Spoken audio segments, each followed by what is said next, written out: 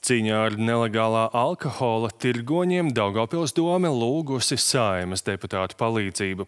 Juridiskās komisijas, krimināltiesību un sodu politikas apakškomisijas sēdē šodien izskatīta Daugavpils domes iesniegtā vēstule, kurā izteikts priekšlikums ļaut domēji konfiscēt nekustamo īpašumu personām, kuras pārdod nelikumīgus alkoholiskos dzērienus.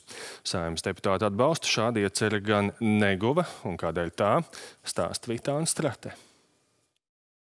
Cīņa ar nelegālā alkohola tirgoņiem Daugavpilī nav efektīva un esošie sodi neattur no nelikumīgām darbībām.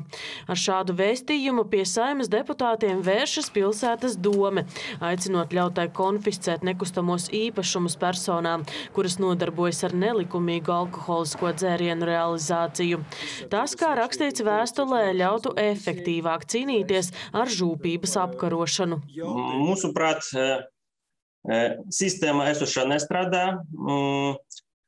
Ik gadu tas vietas, kur notiek alkohola tirsniecība, nemainās. Par to visi zina, zina valsts policija, bet neko, es saprotu, izdarīt nevar. Runa ir par četrām, piecām adresēm, kuras likumsargu redzeslokā ir ilgus gadus apstiprina pašvaldības policijā.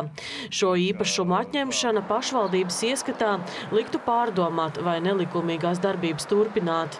Cilvēki tajās vietās mainās. Viena adrese pastāv, piemēram, vairāk nekā desmit gadus. Visi cilvēki zina to vietu, bet, ja uzsāk pat kriminālu procesus, Nākamais krimināla process, tur jau cita persona tirgo. Valsts policija cenšas arī um, kaut kādā veidā tas aizvērt, bet tas nesanāk.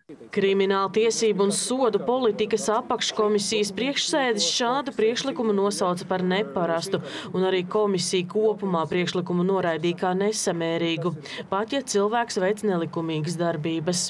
Es sapratu, ka nu, iedvesmojums, eh, iedvesma tieši tā saistīta ar eh, dzērēju šoferu eh, risinājumu, jo tiešām tad, ja cilvēks brauc reibumā vairāk kā pusotrā promīle, tad cilvēks zaudē transporta līdzekli. Bet mēs nevaram salīdzināt mājokli, mēs nevaram salīdzināt nekustamo īpašumu ar automašīnu. Un es savu būtību uztvēru nu, izmisuma eh, kliedziens. Problēmas deputāti apzinās, taču esot jādomā par citiem veidiem, kā izskaust nelegālā alkohola tirdzniecību.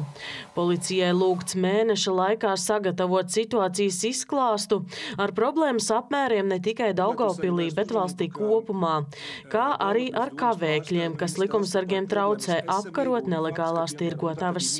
Mana skatījuma, ja ir tāda vieta, nu, policijas var apmeklēt to nevis vienreiz uh, mēnesi vai ceturksni. Viņš tur var katru dienu stāvēt. Kameru var priekšā tad ielikt un filmēt. Piebildīšu, ka pašlaik likumā paredzēts, ka par nelikumīgi izgatavotu vai viltotu alkoholisko dzērienu vai spirtu saturošu šķidrumu tirsniecību var sodīt ar brīvības atņemšanu līdz vienam gadam ar piespiedu darbu vai naudas sodu. Ja noziedzīgās darbības veiktas lielā apmērā vai personu grupā, tad var sodīt ar brīvības atņemšanu līdz pat trim gadiem un ir iespēja arī konfiscēt mantu. Vitāns Stratīvā Žepickis, Latvijas televīzija.